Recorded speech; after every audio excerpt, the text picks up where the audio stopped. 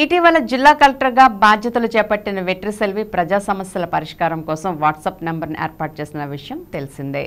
ఏలూరు జంగారెడ్గూడెం రోడ్లో ఉప్పలపాడు వద్ద ఎండిపోయిన చెట్లు ప్రమాదకరంగా ఉన్నాయని వాట్సాప్ నెంబర్కు Sahaya foundation trust chairman Veeramalla Madhu సందేశాన్ని పంపించడం జరిగింది.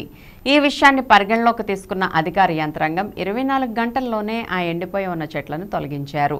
ఇదే విషయంపై గత రెండు సంవత్సరాలుగా అధికారులకు విన్నవించినప్పటికీ సమస్య పరిష్కారం కాలేదని జిల్లా కలెక్టర్ వెట్రిసెల్వి వాట్సాప్ సందేశం ద్వారానే సమస్యను పరిష్కరించినందుకు మధు కృతజ్ఞతలు తెలియజేశారు.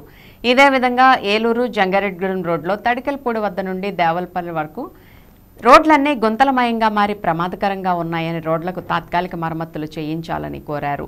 అలాగే ఇదో రోడ్లో రావికంపాడు నారాయణపురం తడికెలపూడి సమీపంలో ఎండిపోయి ఉన్న చెట్లను కూడా తొలగించాలని మధు కోరారు.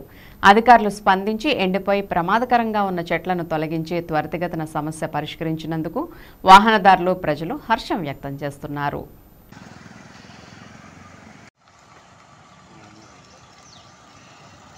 నేను వాట్సాప్ పెడతాను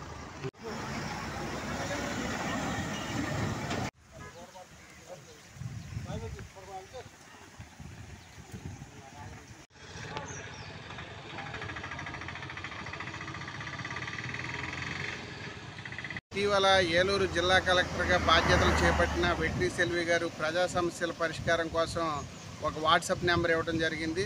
అందులో భాగంగా ఏలూరు జంగారెడ్డిగూడెం రోడ్లో ఉప్పలపాడు వద్ద గల రెండు ఎండిపోయిన చెట్లు చాలా ప్రమాదకరంగా ఉన్నాయి. ఇదే రోడ్లో గతంలో ఈ ఎండిపోయిన చెట్లు వలన ఒక ప్రాణం పోయింది. అలాగే ఇద్దరు గాయాలు పాలైన సంఘటనలు కూడా ఈ ప్రాంతంలో జరిగాయి. దాన్ని దృష్టిలో ఉంచుకుని మా సహాయ ఫౌండేషన్ ట్రస్ట్ ద్వారా మేడం గారికి ఈ విషయాన్ని తెలియజేయడం జరిగింది. ఇరవై నాలుగు గంటల్లోపే ఆవిడ స్పందించి ఈ రెండు ఎండిపోయిన చెట్లను కూడా తొలగించడం జరిగింది. ఆమెకి ఈ సందర్భంగా కృతజ్ఞతలు తెలియజేస్తూ ఇదే విధంగా ప్రజా సమస్యలను పరిష్కరించవలసిందిగా కోరుకుంటూ ధన్యవాదాలు తెలియజేస్తున్నాను.